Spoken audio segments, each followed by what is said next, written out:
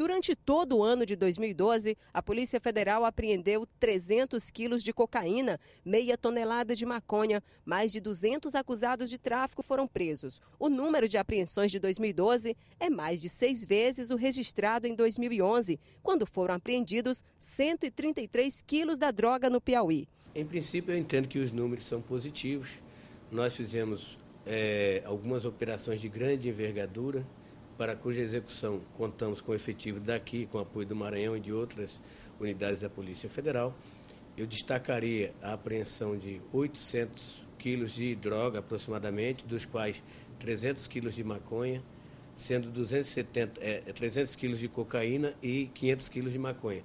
Da cocaína, é, 270 quilos na forma de apresentação cloridrato então, a, a, é, do ponto de vista da quantidade de droga apreendida, foi um ano muito. Nossa atuação foi proveitosa e isso se deu em razão do desdobramento, do esforço de cada servidor que integra a Polícia Federal no Piauí, do entrosamento também que existe entre a Polícia Federal, a Polícia Civil, Polícia Rodoviária Federal, a atuação célere e muito, muito próxima do Ministério Público Federal, do Ministério Público Estadual e uma participação né, julgando os casos e atendendo aos nossos pleitos da Justiça também nas duas searas, federal e estadual. A maior apreensão de cocaína este ano no Piauí ocorreu no município de Luiz Correia no mês de setembro, quando 270 quilos da droga foram apreendidos no município porque seriam transportados para o mercado europeu. A apreensão colocou o Estado na rota do tráfico internacional. Já em relação à maconha,